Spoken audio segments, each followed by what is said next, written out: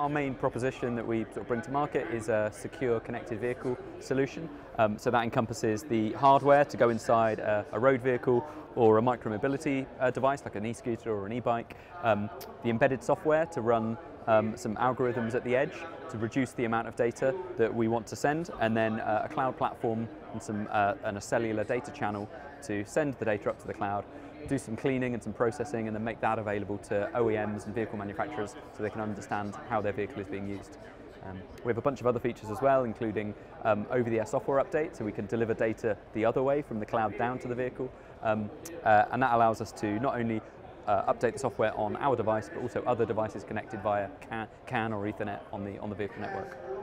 When we founded the company in 2020, we were lucky enough to get onto a, uh, a scale-up program which was launched by Zenzic, um, and so that funded some of the compliance testing for our hardware. So we, we came here to Millbrook and we tested on the, uh, the high-speed ring to ensure that our, our software and our hardware worked as intended and we went through the RF testing and the electrical testing that the automotive industry requires. Through a, a number of like networking events we met some OEMs and started working with the R&D teams of those OEMs to get into kind of low volume prototype projects with them. Um, at the same time we realised that you know, the barriers to entry into the automotive industry are pretty great um, and so we found some, um, some uh, opportunities in micromobility uh, because the, the regulatory barriers are slightly lower um, and the volumes can be slightly smaller. So we, um, we got into uh, two EV micromobility projects um, and produced this kind of smaller form factor hardware. Um, th this one which is a kind of retrofit into a, into a vehicle and this one which is embedded into the seat post of the, um,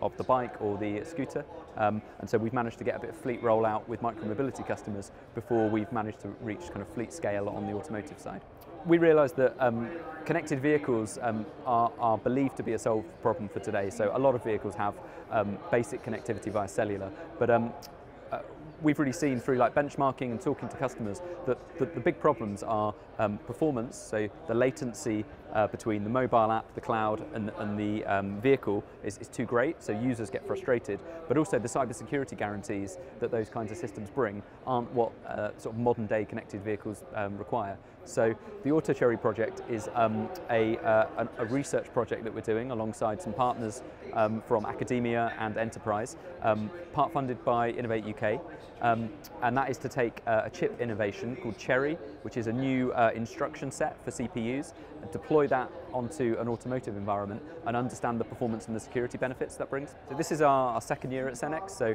um, when we came last year, that was our first year at a paid conference, um, and we thought we would take the take the dive because we heard that um, the uh, customer base that we're trying to hit are there, um, and there were a lot of partnership opportunities with other companies, um, both small and, and large. So um, we came last year and uh, had a kind of initial foray into into conferences, and then returned this year because we had such a uh, there was such a good impact of attending last year's conference. We got leads, we, we made new partnerships, um, and so we thought this year was a great opportunity to really sort of showcase both what we're doing uh, as a company on our core product, but also the AutoCHERI project.